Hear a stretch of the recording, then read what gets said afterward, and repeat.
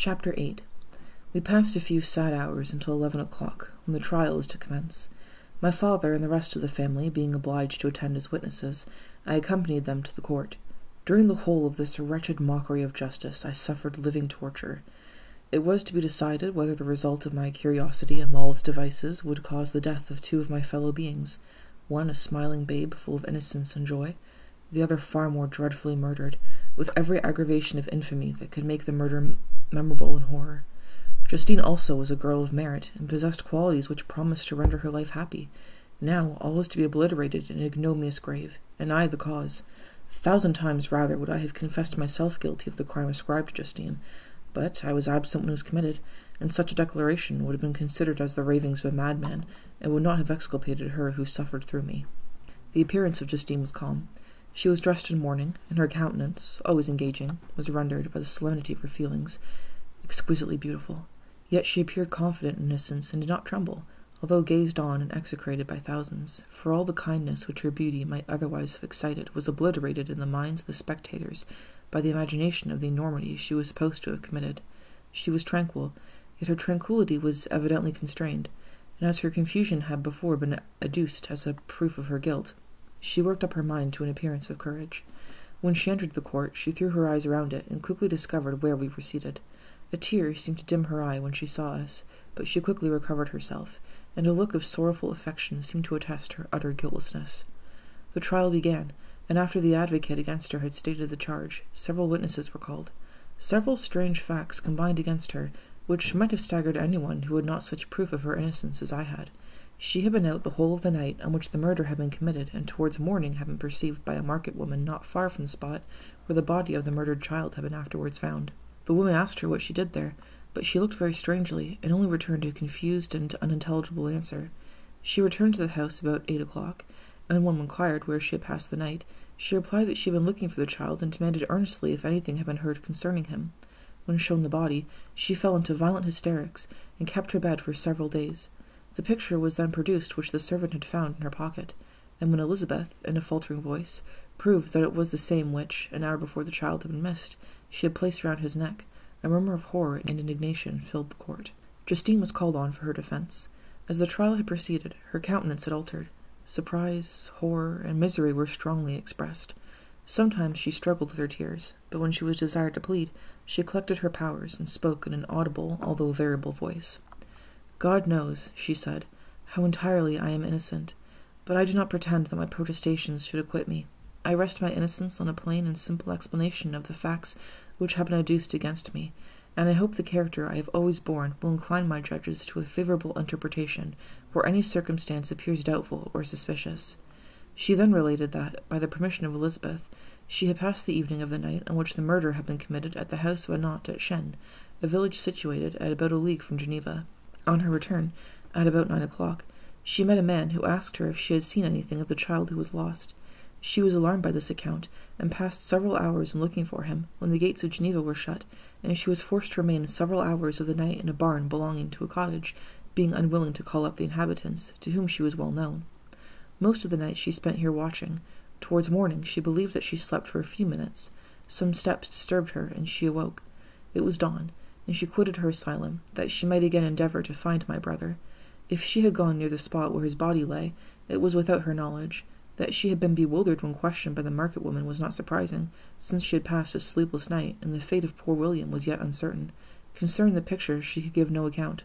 I know, continued the unhappy victim, how heavily and fatally this one circumstance weighs against me, but I have no power of explaining it, and when I have expressed my utter ignorance, I am only left to conjecture concerning the probabilities by which it might have been placed in my pocket. But here also I am checked. I believe that I have no enemy on earth, and none surely would have been so wicked as to destroy me wantonly. Did the murderer place it there?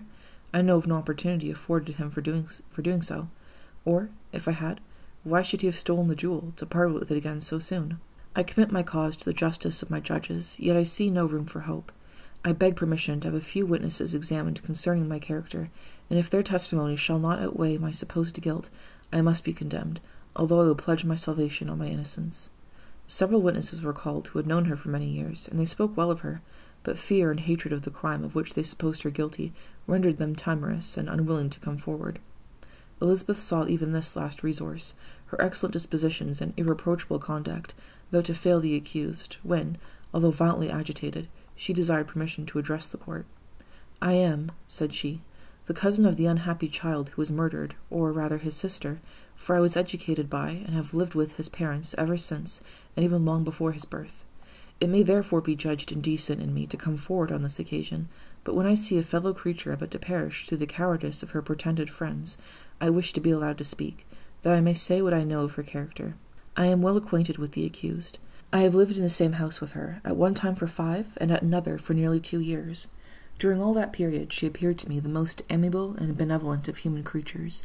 She nursed Madame Frankenstein, my aunt, in her last illness, with the greatest affection and care, and afterwards attended her own mother during a tedious illness, in a manner that excited the admiration of all who knew her, after which she again lived in my uncle's house, where she was beloved by all the family. She was warmly attached to the child, who is now dead, and acted towards him like a most affectionate mother. For my own part, I do not hesitate to say that, notwithstanding all the evidence produced against her, I believe and rely on her perfect innocence. She had no temptation for such an action. As to the bauble on which the chief proof rests, if she had earnestly desired it, I should have willingly given it to her, so much do I esteem and value her. A murmur of approbation followed Elizabeth's simple and powerful appeal, but it was excited by her generous interference, and not in favor of poor Justine, on whom the public indignation was turned with renewed violence, charging her with the blackest ingratitude. She herself wept as Elizabeth spoke, but she did not answer. My own agitation and anguish was extreme during the whole trial. I believed in her innocence. I knew it. Could the demon who had, I did not for a minute doubt, murdered my brother, also in his hellish sport, have betrayed the innocent to death and ignominy? I could not sustain the horror of my situation, and when I perceived that the popular voice and the countenances of the judges had already condemned my unhappy victim, I rushed out of the court in agony. The tortures of the accused did not equal mine. She was sustained by innocence, but the fangs of remorse tore my bosom and would not forego their hold. I passed a night of unmingled wretchedness. In the morning I went to the court. My lips and throats were parched. I dared not ask the fatal question, but I was known, and the officer guessed the cause of my visit. The ballots had been thrown. They were all black, and Justine was condemned. I cannot pretend to describe what I then felt. I had before experienced sensations of horror, and I have endeavored to bestow upon them adequate expressions, but words cannot convey an idea of the heart-sickening despair that I then endured. The person to whom I addressed myself added that Justine had already confessed her guilt. That evidence, he observed, was hardly required in so glaring a case, but I am glad of it, and, indeed, none of our judges like to condemn a criminal upon circumstantial evidence, be it ever so decisive. This was strange and unexpected intelligence. What could it mean? Had my eyes deceived me? And was I really as mad as the whole world would believe me to be if I disclosed the object of my suspicions? I hastened to return home, and Elizabeth eagerly demanded the result. My cousin, replied I, it is decided as you may have expected. All judges had rather that ten innocent should suffer than that one guilty should escape. But she has confessed. This was a dire blow to poor Elizabeth, who had relied with firmness upon Justine's innocence. Alas, said she, how shall I ever again believe in human goodness? Justine, whom I loved and esteemed as my sister, how could she put on those smiles of innocence only to betray? Her mild eyes seemed incapable of any severity or guile, and yet she has committed a murder. Soon after we heard that the poor victim had expressed a desire to see my cousin. My father wished her not to go, but said that he left it to her own judgment and feelings to decide. Yes, said Elizabeth, I will go, although she is guilty, and you, Victor, shall accompany me. I cannot go alone. The idea of this visit was torture to me, yet I could not refuse. We entered the gloomy prison chamber and beheld Justine sitting on some straw at the farther end. Her hands were manacled, and her head rested on her knees. She rose on seeing us enter, and when we were all left alone with her, she threw herself at the feet of Elizabeth, weeping bitterly. My cousin wept also. Oh, Justine, said she, why did you rob me of my last consolation? I relied on your innocence, and although I was then very wretched, I was not so miserable as I am now. And do you also believe that I am so very, very wicked? Do you also join with my enemies to crush me, to condemn me as a murderer? Her voice was suffocated with sobs. Rise, my poor girl, said Elizabeth. Why do you kneel if you are innocent? I am not one of your enemies. I believed you guiltless, notwithstanding every evidence, until I heard that you had yourself declared your guilt. That report, you say, is false. And be assured, dear Justine, that nothing can shake my confidence in you for a moment but your own confession. I did confess, but I confessed a lie. I confessed that I might obtain absolution, but now that falsehood lies heavier at my heart than all my other sins. The God of heaven forgive me. Ever since I was condemned, my confessor has besieged me.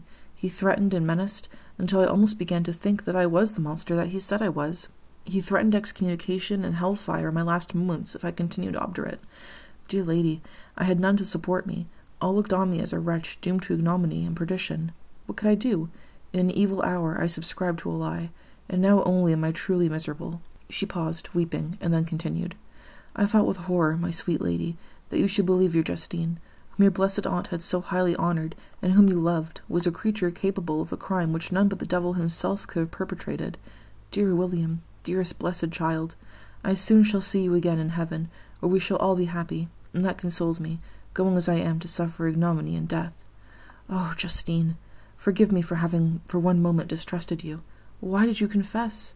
But do not mourn, dear girl. Do not fear. I will proclaim, I will prove your innocence. I will melt the stony hearts of your enemies by my tears and prayers. You shall not die. You, my playfellow, my companion, my sister, perish on the scaffold. No, no, I never could survive so horrible a misfortune. Justine shook her head mournfully.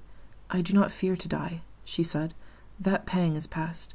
God raises my weakness and gives me courage to endure the worst. I leave a sad and bitter world, and if you remember me and think of me as of one unjustly condemned, I am resigned to the fate awaiting me. Learn from me, dear lady, to submit in patience to the will of heaven. During this conversation, I had retired to a corner of the prison room where I could conceal the horrid anguish that possessed me. Despair! Who dared talk of that? The poor victim, who on the morrow was to pass the awful boundary between life and death, felt not, as I did, such deep and bitter agony. I gnashed my teeth and ground them together, uttering a groan that came from my inmost soul. Justine started. When she saw who it was, she approached me and said, Dear sir, you are very kind to visit me. You, I hope, do not believe that I am guilty? I could not answer. No, Justine, said Elizabeth. He is more convinced of your innocence than I was, for even when he heard that you had confessed, he did not credit it. I truly thank him. In these last moments I feel the sincerest gratitude towards those who think of me with kindness. How sweet is the affection of others to such a wretch as I am!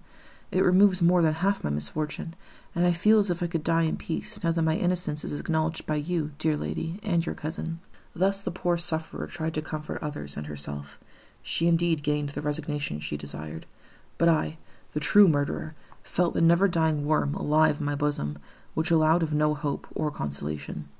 Elizabeth also wept and was unhappy, but hers also was the misery of innocence, which, like a cloud that passes over the fair moon, for a while hides but cannot tarnish its brightness. Anguish and despair had penetrated into the core of my heart. I bore a hell within me which nothing could extinguish. We stayed several hours with Justine, and it was with great difficulty that Elizabeth could tear herself away.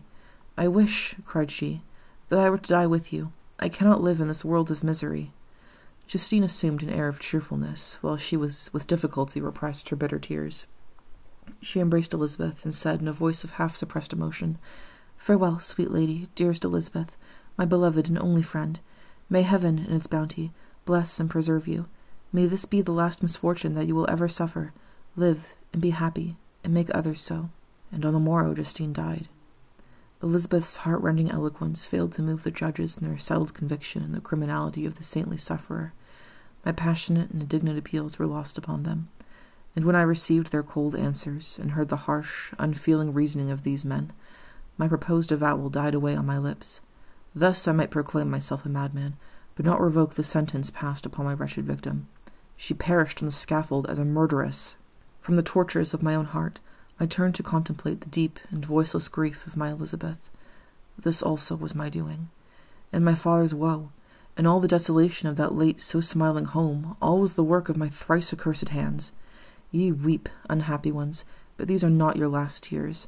Again shall you raise the funeral wail, and the sound of your lamentations shall again and again be heard. Frankenstein, your son, your kinsman, your early much loved friend, he who would spend each vital drop of blood for your sakes, who has no thought nor sense of joy except as it is mirrored also in your dear countenances, who would fill the air with blessings and spend his life in serving you. He bids you weep, to shed countless tears, happy beyond his hopes, if thus inexorable fate be satisfied, and if the destruction pause before the peace of the grave has succeeded to your sad torments. Thus spoke my prophetic soul, as, torn by remorse, horror, and despair, I beheld those I loved spend vain sorrow upon the graves of William and Justine, the first hapless victims to my unhallowed arts.